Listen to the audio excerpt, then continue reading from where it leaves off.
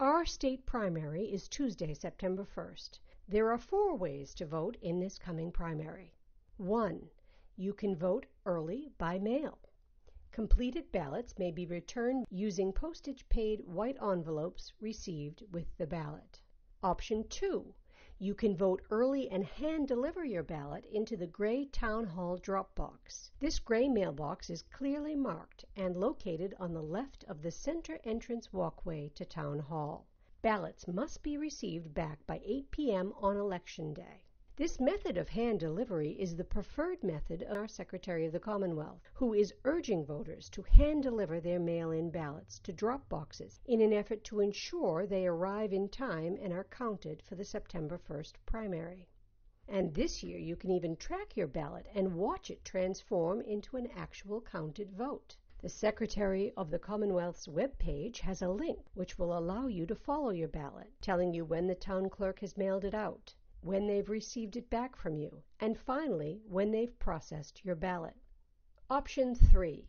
You can vote early in person. And while Massachusetts has had early voting before, this is the first opportunity for early voting in a primary. In-person early voting in Falmouth will be held at the Old Senior Center, 300 Dillingham Ave, from 8 a.m. to 4:30 all this week, ending on Friday, August 28th.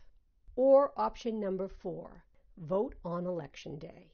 You can kick it old school and vote on election day in person in your usual precinct at the usual voting times of 7 a.m. to 8 p.m. Only Precinct 5 in North Falmouth has a new voting location now at the St. Elizabeth Seton Church.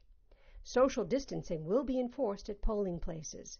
Voters will be asked to maintain six feet of distance, and the number of voters permitted inside the polling places will be limited. Be prepared to wait outside when polls are busy. As a measure to protect both voters and poll workers, voters are asked to bring their own pens and wear cloth face coverings to the polling place. The town will have a limited supply of masks for voters unable to obtain one.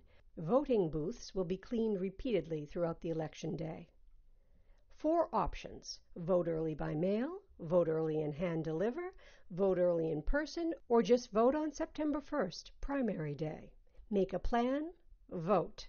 Democracy depends upon it.